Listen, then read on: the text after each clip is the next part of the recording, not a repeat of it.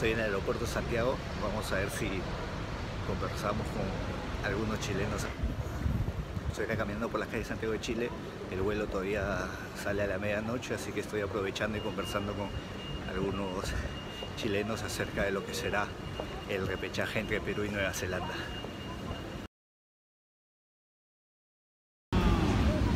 En teoría debería ganar Perú porque siempre Nueva Zelanda es un rival más débil, creo. Creo. Debería ganar Perú. Mira, para mí me gustaría que ganara Perú. ¿Perú? Me gustaría que ganara Perú. Perú. Sí, claro. Eh, yo creo que gana Perú. Eh, por Sudamérica me, me gustaría que ganara Perú, obviamente. Yo creo que va a ganar Perú. Sí, también creo lo mismo, aunque sin Guerrero va a estar bien complicado. Bueno, ojalá que gane Perú, porque batallaron harto para que llegaran a, a esa instancia y Nueva Zelanda es muy conocida como turísticamente buena. Así que espero que, que gane, que pase, que llegue al Mundial.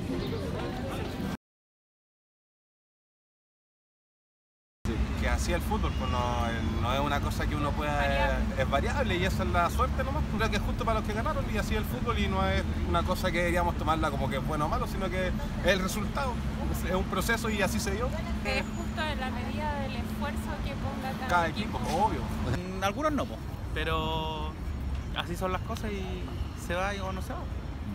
Los Puta, partidos yo- se ganan y se pierden. Se ganan y se pierden. Yo creo lo mismo y es un espacio de aprendizaje para la selección chilena. Es que Chile se lo perdió en partidos anteriores. Yo creo que tenía que haber asegurado partidos con Bolivia, Paraguay. Fue culpa de Chile, no fue culpa de Neymar.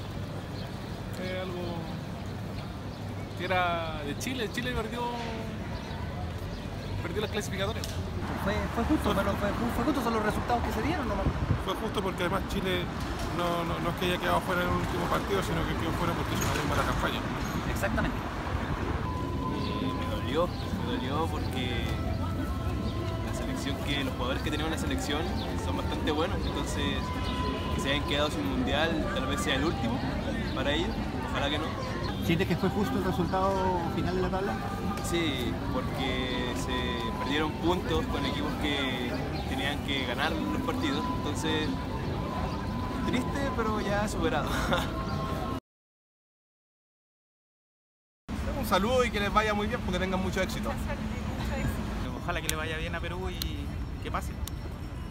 Y que no hagan el papel. A todos los hinchas peruanos y a la selección peruana, que mucha fuerza a representar a los latinoamericanos con toda la garra que nos caracteriza. Y nada, pues en, en nuestros ojos van a estar ustedes, así que mucha fuerza. Que Muchas representen gracias. a toda Latinoamérica y a nosotros que nos quedamos abajo. mucha, mucha suerte.